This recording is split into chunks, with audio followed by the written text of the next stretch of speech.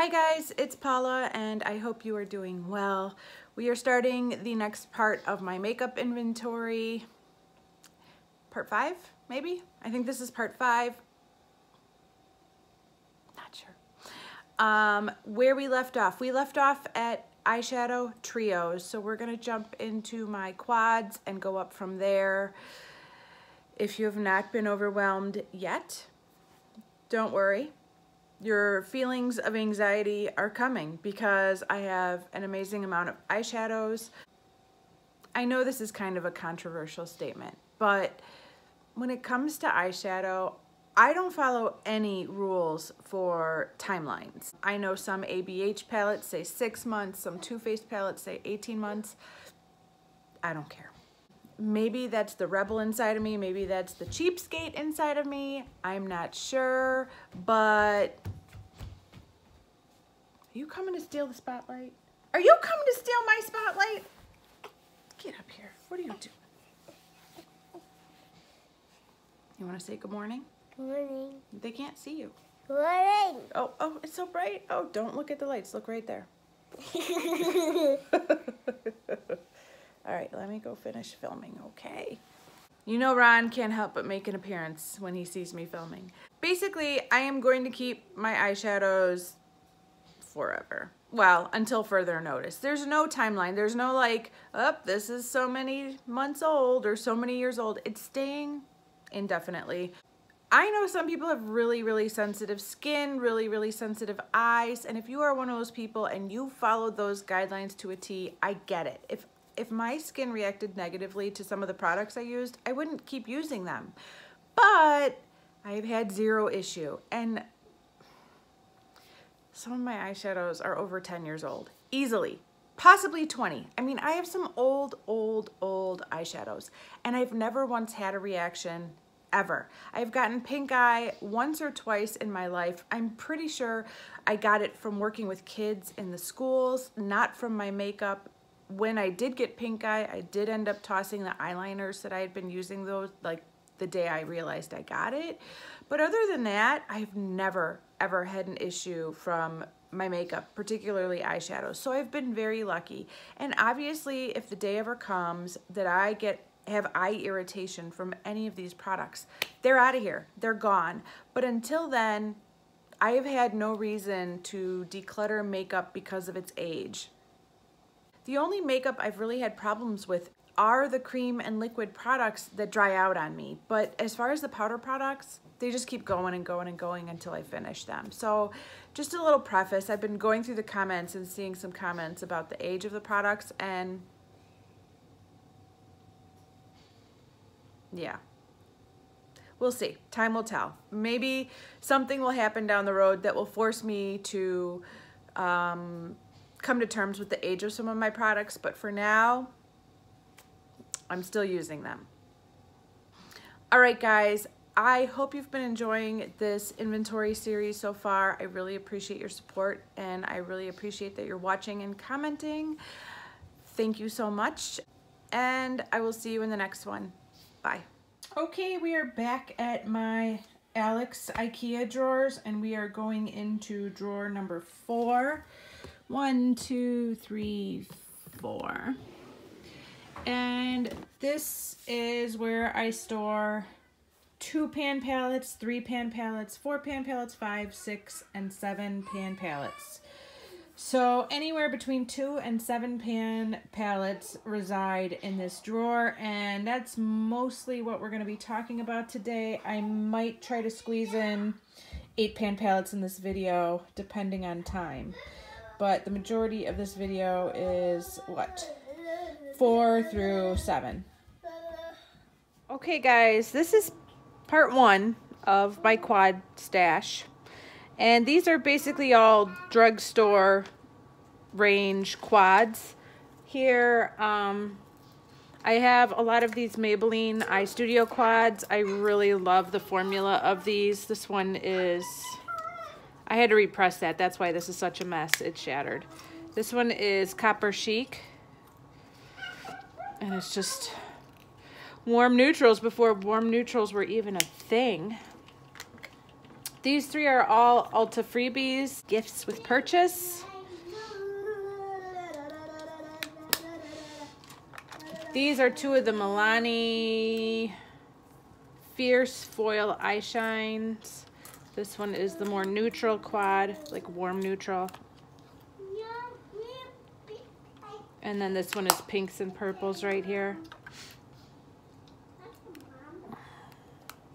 Ugh. Here are two little elf quads. These were like a dollar or two. This one's in butternut.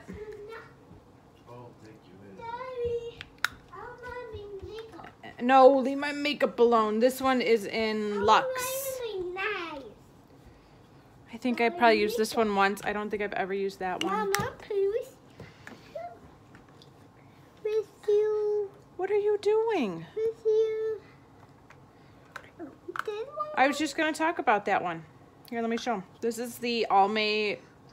It's it's technically a trio with an eye base, but I keep it in my quads inventory. But I was thinking about making this my baby pan that palette, and then I decided against it. Well, you guys voted against it, but I would like to work on this. I just love the shades. You're getting ahead, Hayes. You're getting ahead. We're not down here yet. Sorry, Mom. That's okay. All right, we have two matte pal matte quads from Physicians Formula. This one's a nice rosy purple one called Quartz Quartet. This one is more Mama, neutral browns called Canyon Classics. Did you? Did You see it? No, it's the makeup. Oh. I absolutely love the shades in the Sonia Kashuk quad. This is Bed of Roses. Mommy, But some of them give me a ton of fallout. Please. Even though this is has a glitter in it, it makes an amazing transition shade. Mommy. Oh, Mom, I need help. You do need help. You and me both. Here you go. That one's touch these. Here's an old CoverGirl quad. I don't think I've ever used it. It is Country Woods. What are you doing? You're using the sponge tip applicator and everything. I have three L'Oreal quads here. I probably got them all on clearance when they were discontinuing this packaging. This one is Autumn Leaves. This one is Bronzes. And this one is Lavender Smokes.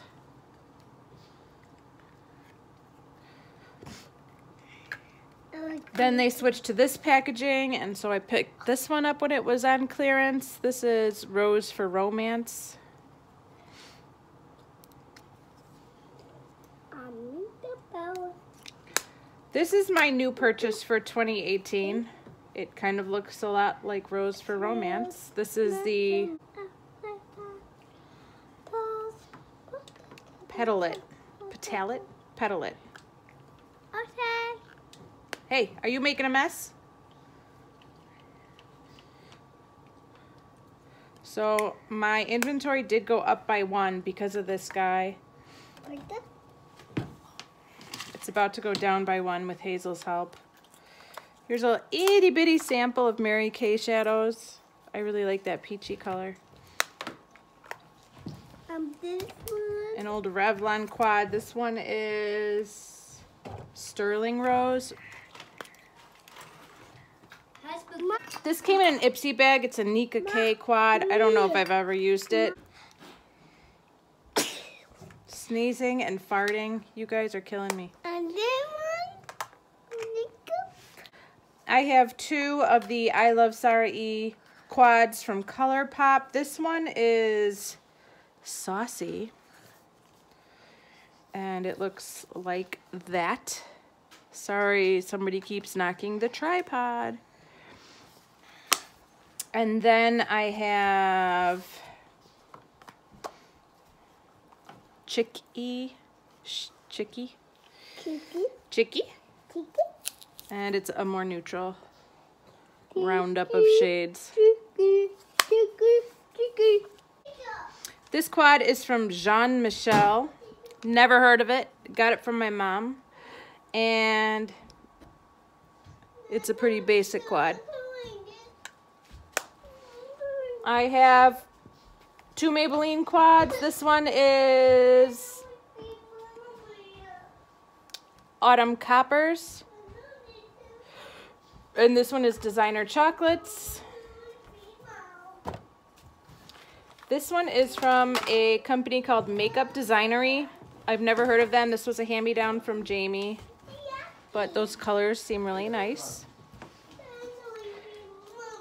And then finally, I have an Ulta quad called Girl Next Door, and it's a lot of greens. So yeah, these are in my category of drugstore quads. I have 32. And I don't have any of these in a project right now. I'm not really working on them. I would love to, but none of them are in a project right now.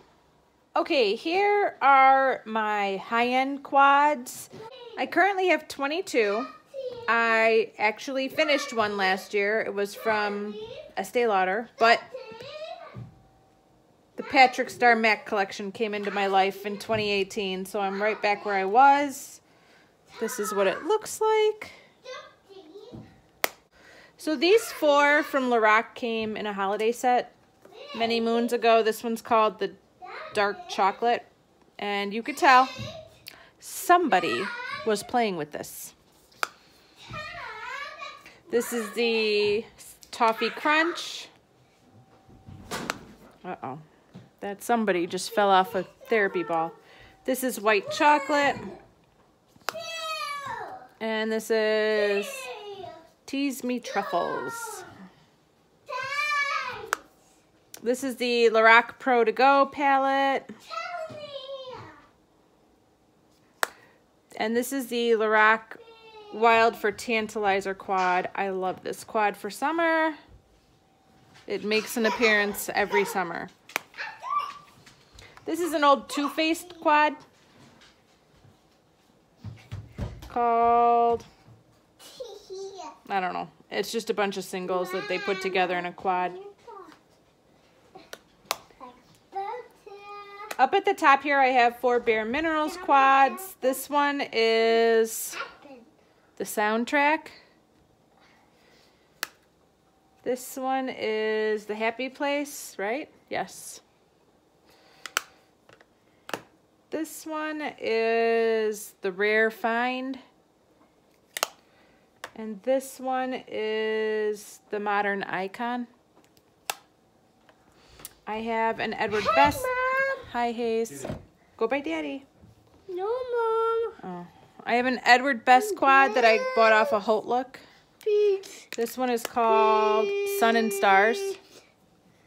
Hold on, I'm not there yet, Hayes. This was a gift with purchase from Estee Lauder. This. Here are two. hmm. Here are two Becca quads. Um. This one is Galactica, and this one is Astro Violet. This is, of course, the Dose of Colors and Desi and Katie collab. Hazel is holding a Tarte quad called Secret Garden. And this Tarte quad is Invoke the Smoke. this is an old Victoria's Secret quad called... Who knows? I can't tell. But it's just a, a lot of nice bronzy shades. This looks brand new, doesn't it? I've probably only used it a couple times. This is my little Clinique gift with purchase in the teddy bear quad. And this is a Lancome quad. That was a gift with purchase as well.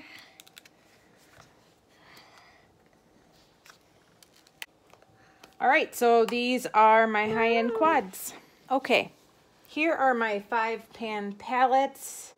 I have 17 five pan palettes. That number went up by one since last year. So let me show you what they are. The new one is this Urban Decay and Kristen Leanne collab. I got this off of HauteLook. I only made one HauteLook purchase in all of 2018. I've really tried to stop shopping on HauteLook, but I did pick this up when it, Urban Decay went on HauteLook. This is a five pan palette from an indie company called Lala Cosmetics. I don't think they're around anymore. They used to be sold on Etsy. And the uh, the top layer of this brown shade kind of crumbled off. I think I was a little too rough with the palette. But um, these are seriously pigmented matte shadows that are perfect for fall. I also have the Becca and Jaclyn Hill collab eyeshadow palette. It's very pretty.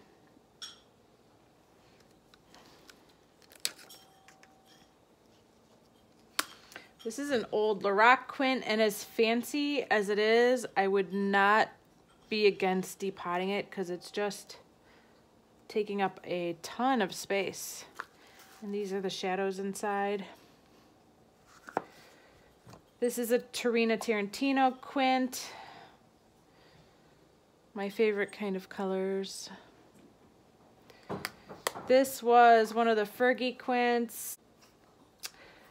I don't know what the name of this quint was, but I bought it for this taupey silvery shade.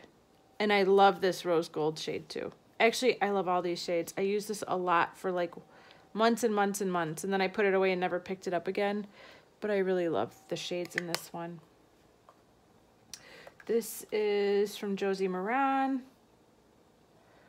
Honestly, this quint is a little bit disappointing and I tend to not use this on its own. I always like layer something shimmery on top of it to make it just look a little bit nicer. This is from Laura Geller. I think it came out last Christmas and I've never used it. This is an old, old Tarte Quint Quintessentially Traveled Chic 5-in-1 eyeshadow palette. The pans are ginormous. Huge pans in this palette. These are all MAC Quints. This one's Peach Luxe. Copper Luxe. I think this one's Amber Luxe. Yes, I got it right. Amber Luxe and Plum Luxe. These are basically the same product in from two different brands and two different sizes, but this is a NYX glitter palette. I think I got it in an Ipsy bag. I've never used it even once. I'm thinking it might go in my Project 10 uses.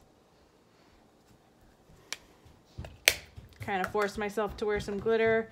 This is from JCat Beauty. Same idea, almost identical shades.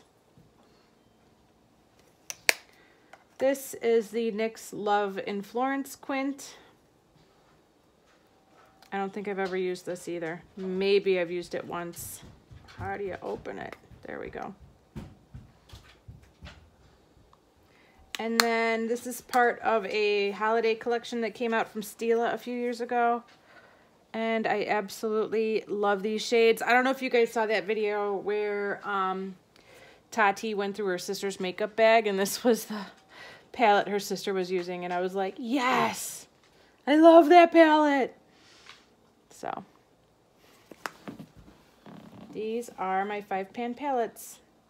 I don't have any in projects right now. I don't know if I'm going to put any of these in projects in 2019. Time will tell. My hands are pretty full with the eyeshadows I've already picked out to work on, so we'll see. If there's anything you guys ever want to see in particular, let me know. Hopefully some of them will get rotated into my Project 10 uses. That would will be the best bet for me to get some use out of these. Yeah.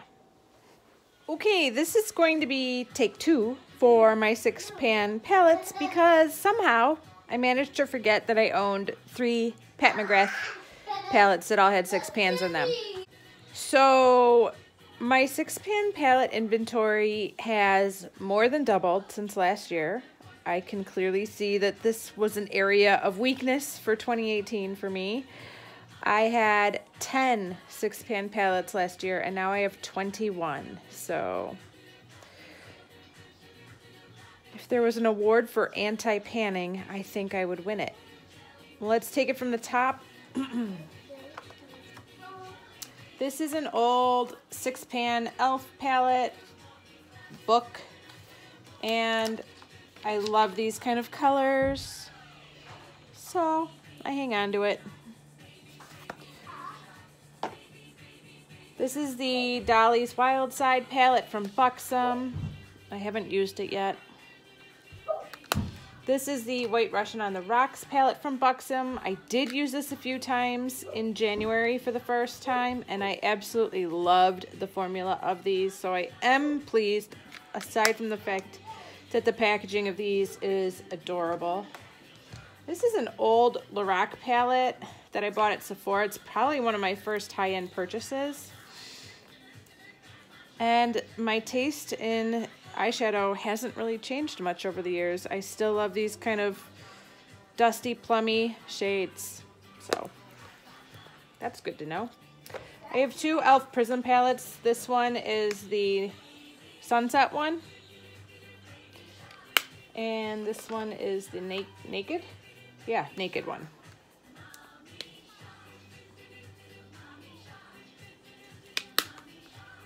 All of those palettes that I've shown so far were in my inventory last year. Here are some new ones. The City Mini palette and Shayla collaboration with Maybelline.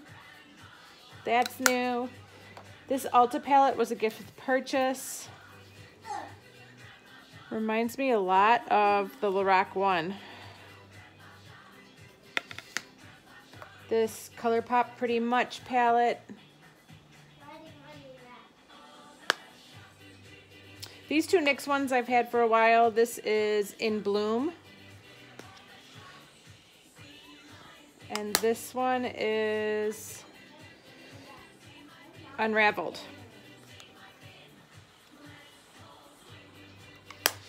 One of these e.l.f. palettes I had before and one is new. This is the new one in Island Breeze. This is the one I already had. This is Cool Mist.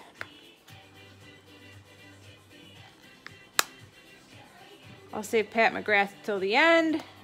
I got the Touch in Sol Metalist palette in 2018 when it was on sale at Sephora.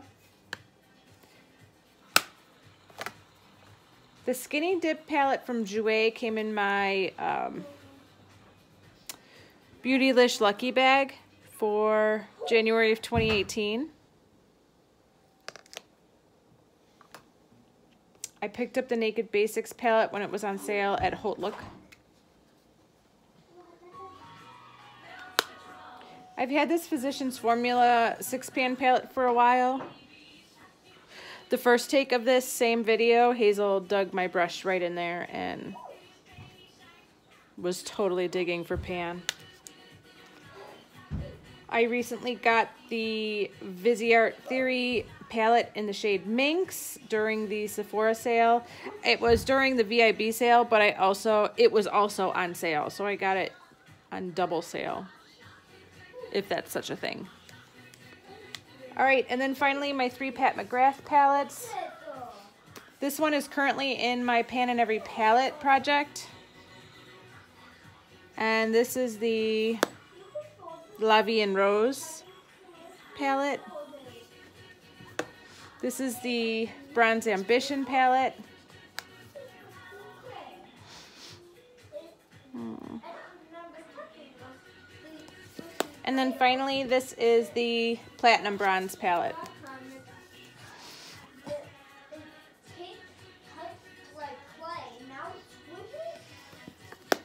All right, so here are my six pan palettes. Okay, here are my seven pan palettes. I went up by one in this category from last year. These two I've had. This one is new. It is my Too Faced Razzle Dazzle Berry eyeshadow palette. And it looks like this. Oh, it's gorgeous. I also have this Marc Jacobs palette in Provocateur. I received this as a birthday or Christmas present from my brother.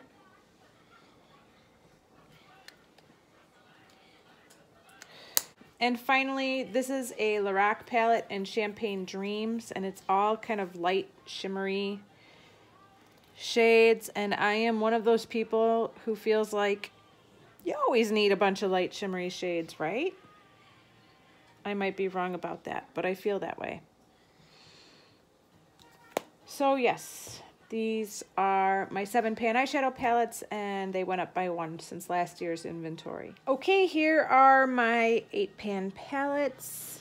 I had 14 at last year's inventory and I have 18 now, so obviously I bought four new palettes. I did not finish, declutter, use up any, so this category has just grown.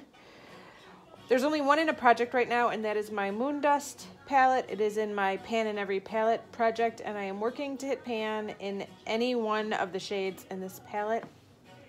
Let's take it from the top.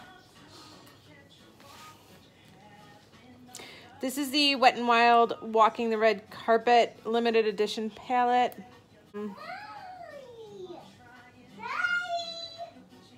It looks like this. I feel like this palette was always a little bit disappointing from my expectations of Wet n Wild 8-pan palettes, but I don't know, it swatched pretty nicely. Can make it work. This is the Petal Pusher palette. I've never actually used it, but it did have a little accident with it getting dropped on the floor. I'm trying not to think about it too much because it's not like I can buy this again but that's okay. This is the Comfort Zone palette, the original Comfort Zone.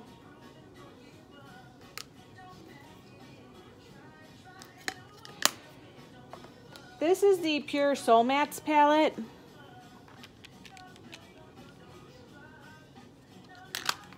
This is the Pure...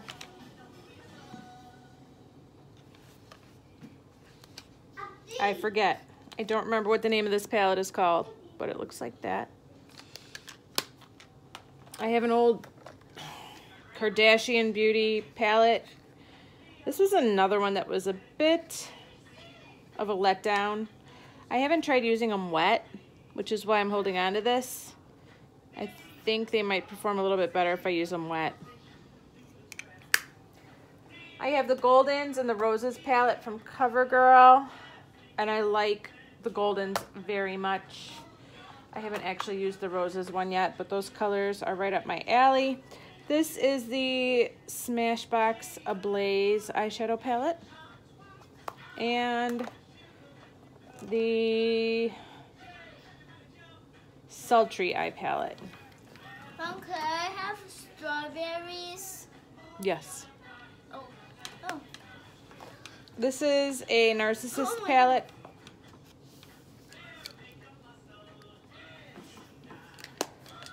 This is one of my new purchases for 2018. It's the Viseart Palette Petite Pro 2, I think. Yeah, Petite Pro 2. This is a little Bobbi Brown palette that I found at TJ Maxx. Yeah, there we go. I knew there was eight shadows in there. Um, this is my Moondust palette. No pan yet. This is the Missy Lynn palette. It's technically an eyeshadow and baked highlighter palette, but the highlighter shades are too deep for my skin tone. So I'm considering it an all eyeshadow palette because that's how I would use these baked shadows. This is the Venus 3 from Lime Crime. This is the Alamar Cosmetics palette, volume 1. And this is the Too Faced Sugar Cookie palette that came out around the holidays. Oh, I could smell it. Yum.